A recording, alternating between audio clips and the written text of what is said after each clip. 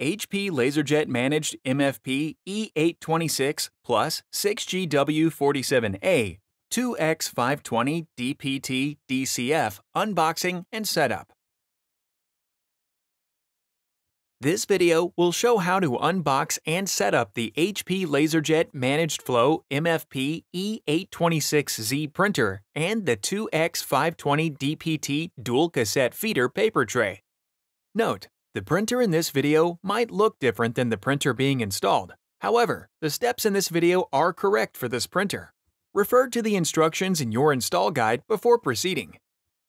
Before the printer is powered on, make sure that the room and equipment are at least 15 degrees Celsius, 59 degrees Fahrenheit. Leave the printer on the shipping pallet until it is ready to install on a DCF, HCI, or stand. Make sure the work area is free of debris and the floor is not slippery or wet. Unboxing the 2X520 DPT dual cassette feeder paper tray. Begin by cutting the tape and opening the box. Remove the smaller box containing the setup guide and accessories. Carefully rotate the box and position it flat on the ground. Slide the paper tray out of the box. Remove the protective styrofoam. Lift off the plastic bag. Remove the blue tape securing the protective sheet and then remove the sheet. Remove the plastic bag containing the two thumb screws. These will be used to secure the paper tray to the printer. Remove the remaining visible pieces of blue tape.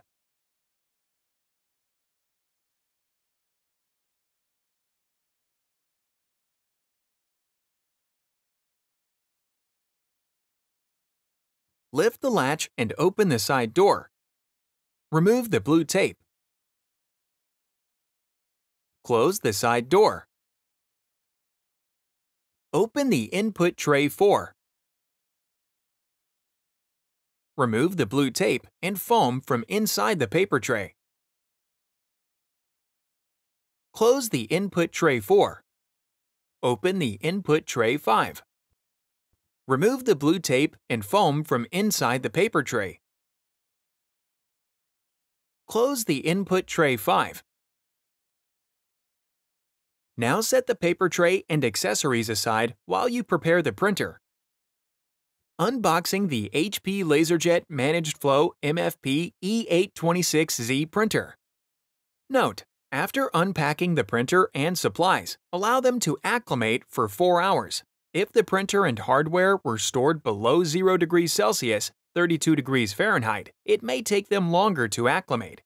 Do not remove the shipping tape or protective packing materials until after the printer is installed on a DCF, HCI, or stand. First, cut and remove the plastic wrap. Remove the protective foam from the corners. Lift off the plastic and then lift off the wooden top pallet. Cut and remove the shipping bands that secure the printer to the bottom pallet. Remove the four cardboard sheets from the sides and then lift off the remaining wood from the top.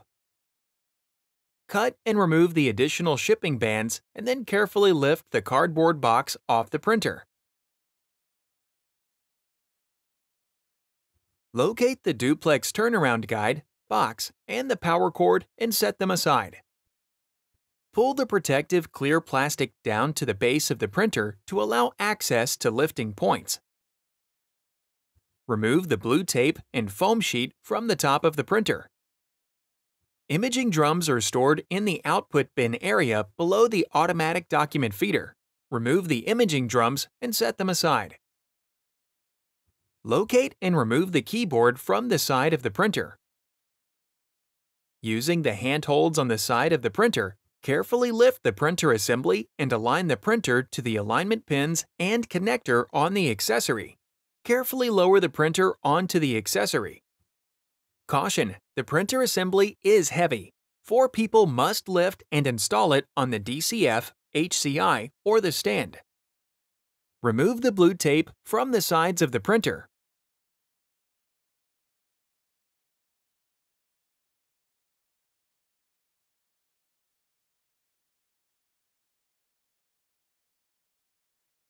Remove the blue tape and protective sheet from the output tray.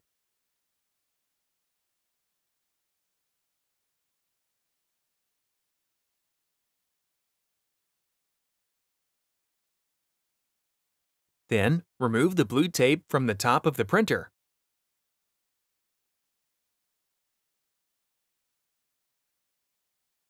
Remove the clear tape and open the ADF cover. Remove the tape and foam, then close the ADF cover. Be sure to remove the small foam piece from the ADF output tray. Open the scanner lid.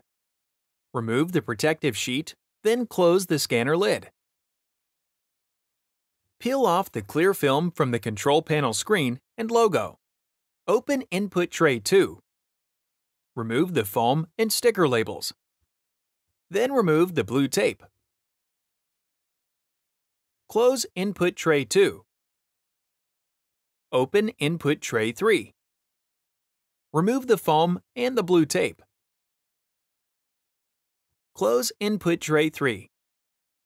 Open Input Tray 2. Holding the tray by its sides, pull out and remove the tray from the printer. Then remove Input Tray 3 from the printer.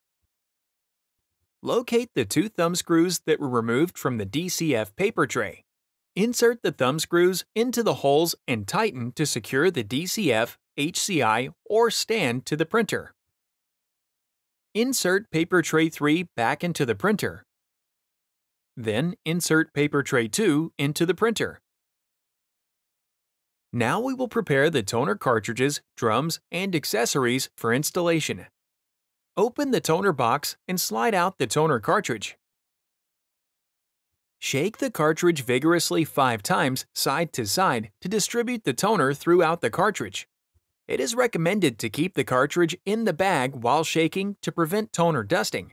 Remove the cartridge from the plastic bag. Remove two seals from the toner cartridge. Pull the red tabs straight out and away from the toner cartridge to remove the seals. Open the toner access door, and then the right door. Remove the seal from the toner cartridge opening.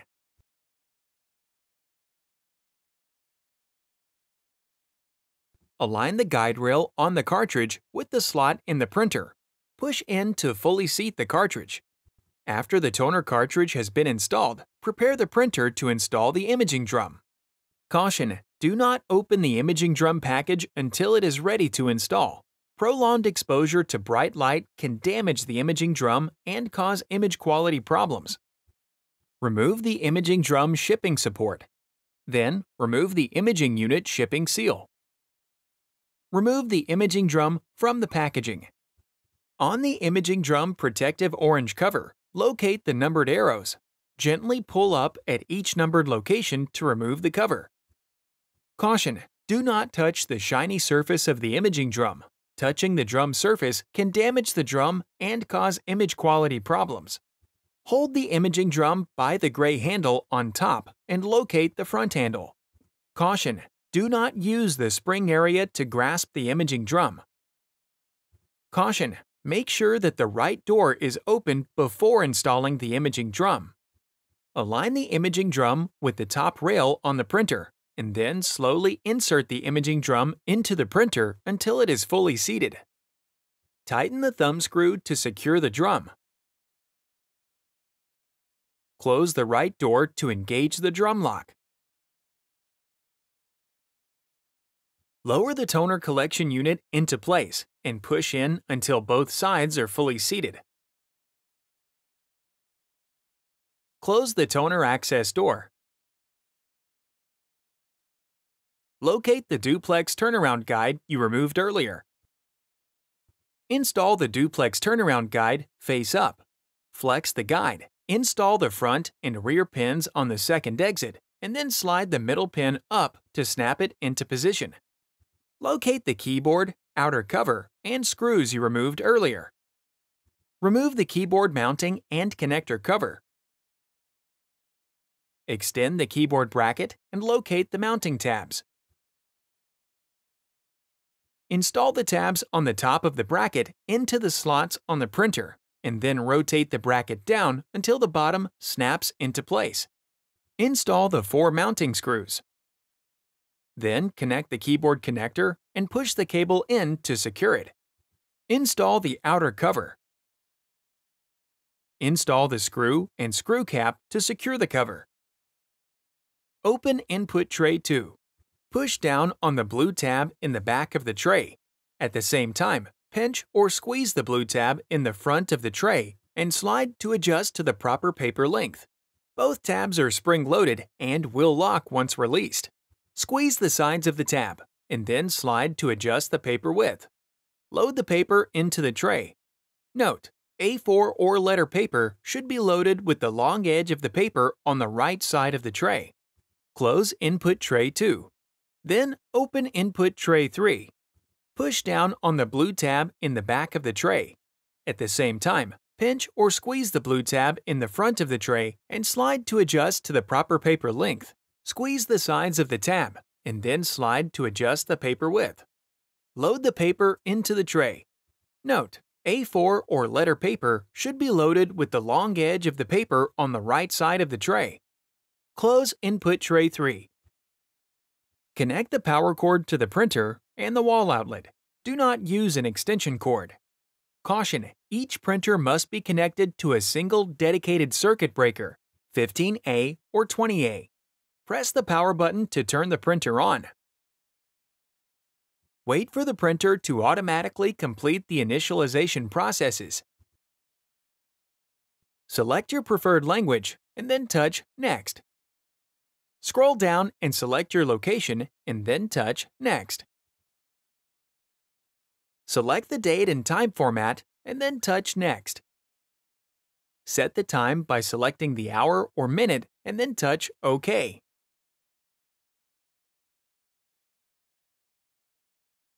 Adjust PM to AM by touching it. Touch Next. Select Yes to enable Auto Send and then touch Next. Select Yes to enable print from USB drive and then touch Next. Select Yes to enable Consumables Access Control and then touch Next. Finally, review your selections and then touch Finish. Print a configuration page to make sure that the printer is working properly.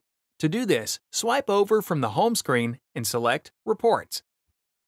Select Configuration Status Pages Select Configuration page, then touch the print icon. The configuration page prints. Now, lower the stabilizers to prevent the printer and accessory from moving. Rotate each caster towards the inside of the printer and slide in the stabilization blocks.